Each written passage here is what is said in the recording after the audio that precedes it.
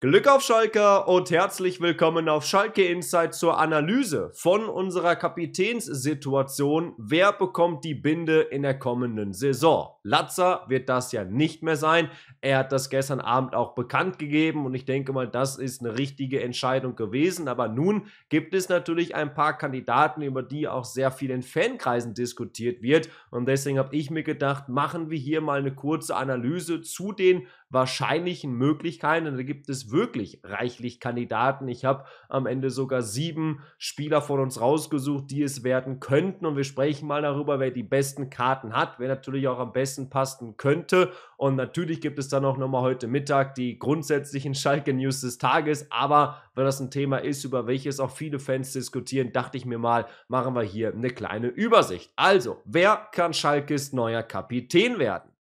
Kandidat Nummer 1 ist für mich auf jeden Fall Dominik Drexler. Einer, der meiner Meinung nach auch schon in den letzten beiden Jahren ein Anführer war und da auf jeden Fall gewisse Vorteile mit sich bringt. Denn er kennt Schalke mittlerweile und ich finde, Spieler, die vor zwei Jahren ganz bewusst zu uns gekommen sind, dann natürlich auch mit aufgestiegen sind, mit abgestiegen sind und jetzt noch weiter mit dabei sind, die haben schon sehr viel von dem Schalke 04 erlebt, was es wirklich auch zu erleben gibt, sowohl in Sachen Höhen, aber als auch in Sachen Tiefen und das halt innerhalb von gerade mal zwei Jahren. Und ich glaube schon, dass man da bei so Spielern wie Drexler den großen Vorteil hat, dass sie eben ganz genau wissen, worauf es jetzt in der zweiten Liga ankommt. Klar ist aber auch, Dominik Drexler war bislang bei keinem seiner Stationen wirklich einer, der dann ganz vorne wirklich war und auch mal Kapitän oder sowas war. Auch bei uns war er vierter, fünfter Kapitän, hat ja auch in der Zweitligasaison teilweise mal die Kapitänsbinde getragen, aber war halt nie einer, der komplett vorne weggegangen ist und deswegen für mich auf jeden Fall ein Außenseiter, aber irgendwie auch wieder ganz gut vorstellbar, weil ich schon glaube, dass er rein sportlich eine gute Rolle in der neuen Saison spielen wird. Und wenn man natürlich dann über einen Kapitän spricht, dann blickt man logischerweise auch darauf, wer das vielleicht schon mal war. Und logischerweise fällt dann auch Ron Schallenberg in dieses Raster und er bringt eben dann noch diese Erfahrung mit als Kapitän. Klar, er ist erst 24 Jahre alt, Deswegen meine ich eben auch mit dem Punkt Erfahrung, die Erfahrung als Kapitän, denn das war er ja mehrere Spielzeiten beim SC Paderborn und das eben schon im jungen Alter. Er ist einer, der unabhängig davon, ob er jetzt Kapitän ist oder nicht, vorangehen möchte, vorangehen wird.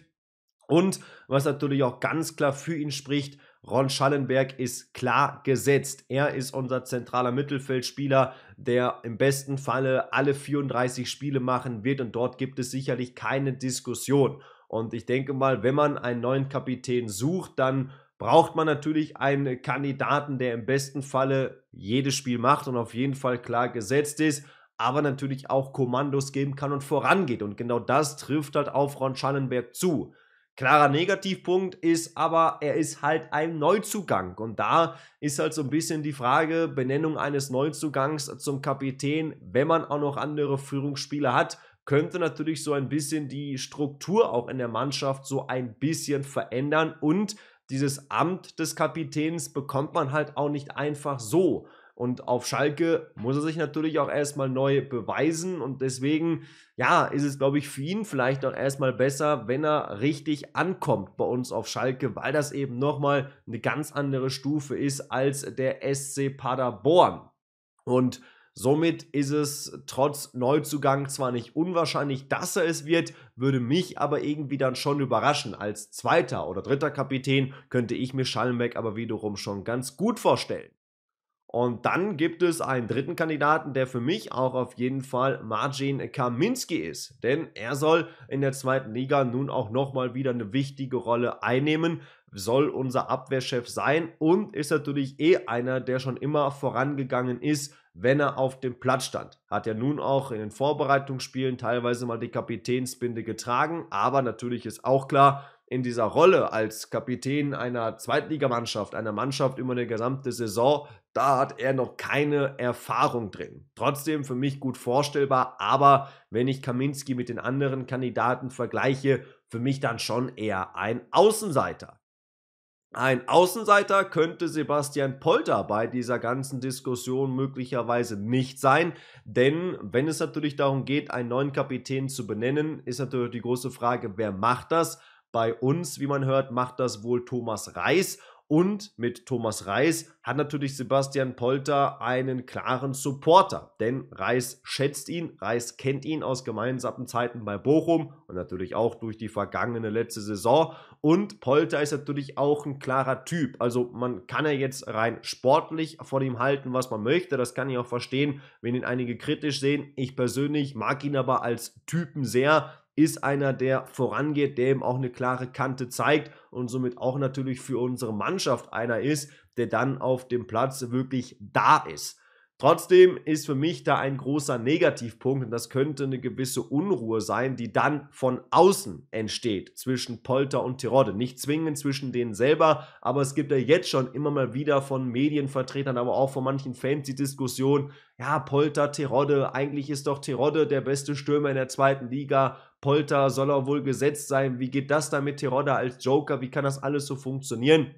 Und da wäre sicherlich schon äh, ja, eine brisante Lage, könnte man vielleicht sagen, sollte Polter Kapitän werden. Er soll auf jeden Fall Kandidat sein, liegt natürlich auch bedingt durch seine Erfahrung und der Wertschätzung von Reis auf der Hand. Für mich aber eher unwahrscheinlich. Klar ist aber auch, wenn man natürlich dann auf die Faktoren schaut, mit potenzieller Stammspieler, mit viel Spielzeit plus Erfahrung und Kommandos geben, dann passt Polter auf jeden Fall schon in das Raster, sollte eben auch dann Thomas Reis mit ihm als ersten Stürmer planen. Einen, über den man für mich auf jeden Fall bei der ganzen Debatte ein bisschen zu wenig spricht, ist meiner Meinung nach Cedric Brunner. Denn er passt eigentlich sehr, sehr gut in dieses Profil, was man eigentlich auf der Position haben will. Wir suchen einen Stammspieler, der immer seine Leistungen bringt, der konstant auch einfach liefert und natürlich auch eine gewisse Erfahrung mitbringt und all das trifft auf Cedric Brunner zu. Klar ist, bislang ist er jetzt nicht zwingend als Lautsprecher aufgefallen oder besser gesagt, ich glaube, wir Fans können das nicht ganz so gut beurteilen, wenn natürlich schon eine ordentliche Machtanhebung von gar kein Vize, dritter Kapitän auf einmal zum neuen Kapitän benennen, benannt zu werden. Aber gut, würde ich jetzt auch nicht zwingend ausschließen. Für mich wäre aber auch dann wichtig, seinen Vertrag auch erstmal zu verlängern. Denn der läuft nur noch ein Jahr. Da hätte man direkt die Diskussion, Brunner, neuer Kapitän, klarer Stammspieler und dann läuft der Vertrag auch noch aus. Also das müsste sicherlich erstmal geklärt sein. Aber dann fände ich Brunner sogar wirklich mal interessant. Und natürlich darf bei einem solchen Video über einen neuen Kapitän Ralf Fährmann nicht fehlen, der ja auch schon mehrere Jahre unser Kapitän war. Und das ist natürlich auch ein Attribut, was für ihn spricht. Er hat die Erfahrung in dieser Rolle und das auch noch auf Schalke. Er ist Schalker durch und durch, er lebt diesen Verein, er kann eben auch anderen Spielern diese Werte vorleben und er ist ein Anführer. Man hat ja auch in der Rückrunde gesehen, wie wichtig auch nicht nur seine sportlichen Qualitäten waren, sondern auch seine menschlichen, wie er vorangegangen ist und wie er auch immer wieder in brenzlichen Situationen auf dem Spielfeld präsent war. Und deswegen gibt es natürlich die Diskussion darüber, Torwart ah, ist nicht ganz so günstig, aber Ralf Fährmann ist ein Torwart, der in den letzten Spielen auch in der Bundesliga gezeigt hat. Auch wenn er kein Kapitän war, war er bei jeder Rangelei, bei jeder Diskussion mit dem Schiedsrichter zügig mit dabei.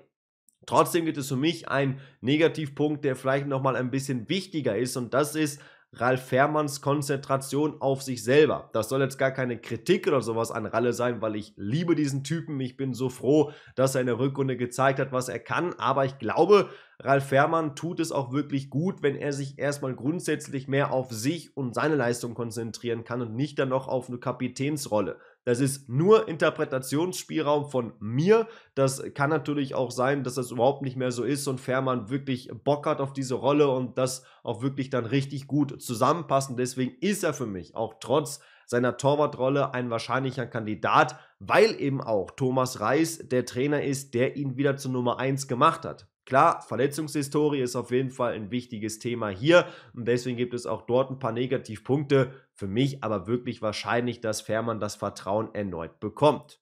Und der letzte Kandidat, und der darf natürlich auch nicht fehlen, ist Simon Terodde.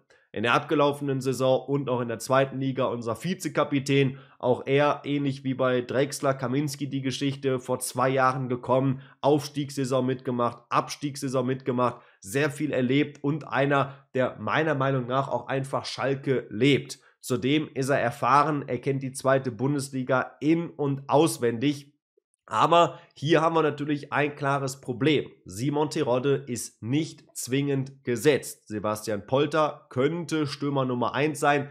Ich bin mir relativ sicher, am Ende werden beide ungefähr auf die gleiche Spielzeit kommen. Mal spielt der eine vom Beginn, mal der andere vom Beginn. Aber das ist halt natürlich für eine Kapitänsrolle jetzt nicht optimal. Zudem, was auch viele Fans ein bisschen anmerken, man würde sich mal wieder einen Kapitän wünschen, der das auch langfristig sein kann, über zwei, drei, vier Jahre dann wäre sicherlich Terodde keine langfristige Lösung. Da könnte man dann eher über einen wie Ron Schallenberg diskutieren. Aber auch Terodde ist die wahrscheinliche Lösung. Und somit kommen wir dann zur abschließenden Frage, wer wird denn nun Kapitän? Und ich denke mal, die Favoriten, die sind auf jeden Fall Terodde und Fährmann. Was mir persönlich aber aufgefallen ist bei dieser Suche nach einem neuen Kapitän, es gibt wirklich bei jedem, könnte man böse gesagt sagen, irgendetwas zu meckern. Also ob es jetzt bei Terodde die Spielzeit ist, dass er vielleicht nicht Stürmer Nummer 1 ist, bei Ralf Fährmann die Verletzungshistorie, bei Ron Schallenberg als Neuzugang, bei Brunner oder auch Kaminski, dass man nicht abschätzen kann, ob sie jetzt Lautsprecher sind oder nicht. Dominik Drexler, Sebastian Polter, die eigentlich gute Typen sind, aber auch dort nicht so klar ist, ob jetzt die sportliche Rolle so riesig ist, dass man sie eher zum Kapitän benennen würde als Terodde oder Fährmann. Das ist schon wirklich eine spannende Geschichte und ja, ich weiß, viele Fans sagen, ah, Kapitänsfrage interessiert mich jetzt nicht so wirklich. Aber trotzdem wird halt schon sehr, sehr vielen Fankreisen darüber diskutiert und deswegen wollte ich auch mal dieses Video zum Anlass nehmen, damit ihr eure Meinung äußern könnt. Was denkt ihr? Wer wird Kapitän? Wer ist euer persönlicher Favorit? Ich glaube, unserer Mannschaft würde es am meisten helfen, wenn es Terodde oder Fährmann werden würde. Eure Meinung dazu mal gerne in die Kommentare und dann sehen wir uns im nächsten Video wieder. Und das kommt heute Mittag mit den Daily News. Und in dem Sinne macht es gut, schau. Und Glück auf an alle Schalker.